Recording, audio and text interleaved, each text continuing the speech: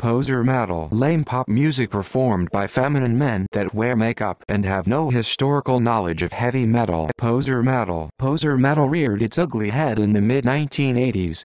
Corporate television producers have tried to rewrite rock history and give this type of teeny bopper bubblegum credibility within pop culture history. It was a joke then, is a joke now. Practitioners of this genre include Poison, Warrant, Winger, Slaughter, Skid Row, Motley Crue, Poser Metal, P-O-S-E-R, M-E-T-A-L, Poser Metal.